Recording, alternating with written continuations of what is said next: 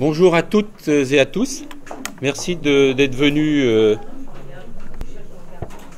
à l'invitation de l'Union des associations pour la défense du littoral pour cette table ronde sur le thème Quelles évolutions pour la loi littorale? avec un point d'interrogation. À mes côtés, euh, Jacques Lesquat, qui est géographe et qui se présentera peut-être davantage tout à l'heure quand il interviendra, et Patrice Valadou, avocat à Quimper et spécialisé dans le droit de l'environnement. Donc ils pourront nous apporter tout leur, euh, éclairage, leur expérience, leurs compétences sur la loi littorale d'abord, et puis euh, sur euh, une série de, questions qui se posent aujourd'hui par rapport à la loi littorale. On en entend parler, euh, vous avez sans doute vu cette semaine euh, des articles de presse. Euh, tout près de, nous, un certain nombre d'élus se posent des questions, voire même vont plus loin. donc cette table ronde va nous permettre d'aller un peu plus loin dans la réflexion.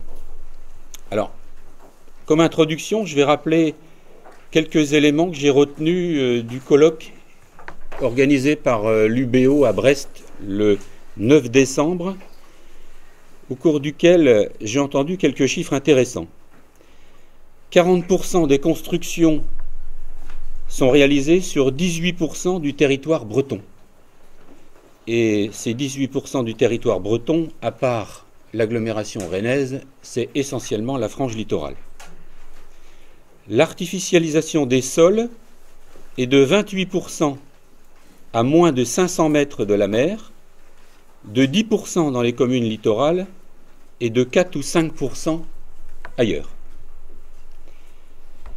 Les résidences secondaires sont occupées en moyenne 6 semaines par an.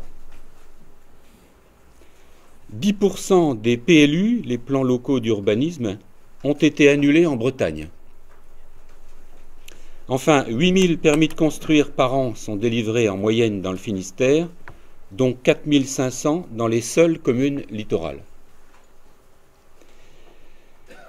Ce dernier point pour illustrer le fait que, contrairement à ce que peuvent dire un certain nombre d'adversaires de, la loi littorale, d'adversaires déclarés ou pas d'ailleurs, euh, la loi littorale n'a pas été un frein au développement des communes littorales. Il suffit pour ça de regarder les statistiques de l'INSEE, l'Institut national de la démographie qui s'occupe de la démographie sur les études statistiques, euh, ou de l'ancienne DATAR, la direction de l'aménagement du territoire, qui nous montre que euh, lors des dernières années, lors des dernières décennies, ce sont plutôt les communes littorales qui se sont développées avec quelquefois des augmentations importantes de population. Je vais citer un chiffre. Plougastel d'Aoulas, dont le maire est vice-président de l'Association des maires du Finistère, porteur du livre blanc rédigé par l'Association des maires du Finistère, aujourd'hui euh, instigateur d'un débat au sein de l'Association des maires de France et qui, lors du colloque à Brest, demandait l'assouplissement de la loi littorale, notamment sur son article L146.4.1 sur la constructibilité, l'extension de l'urbanisation en dehors des bourgs et des villages. La commune de Plougastel a gagné entre 2 et 3 000 habitants en une décennie. Donc, quelques points soulevés lors du colloque méritent débat. Et donc, euh, je souhaite que nos intervenants euh, donnent leur position là-dessus. Aujourd'hui, un certain nombre de questions se posent sur l'installation de stations d'épuration, qui aujourd'hui sont considérées comme des opérations d'urbanisation, et donc de ce fait, tombent sur le coup de la loi littorale du L146.4.1 et ne doivent de ce fait être installés dans des bourgs ou des villages, ce qui pose un problème. On peut se poser la question également concernant des bâtiments agricoles. Compte tenu de, de l'urbanisation qui s'est opérée au cours des dernières décennies, un certain nombre de, fermes ont été mangées par l'urbanisation, de bâtiments euh, fermes ont été mangés par l'urbanisation, ce qui fait que aujourd'hui un certain nombre de terres agricoles se retrouvent sans bâtiments et sans possibilité, notamment pour de jeunes agriculteurs, euh, de s'installer sur des terres pour faire du maraîchage, par exemple. Pour la même raison, et donc la question qu'il faut se poser, parce qu'elle est posée de toute façon, c'est est-ce qu'un bâtiment agricole, à usage spécifiquement agricole, doit être considéré comme une opération d'urbanisation? Voilà.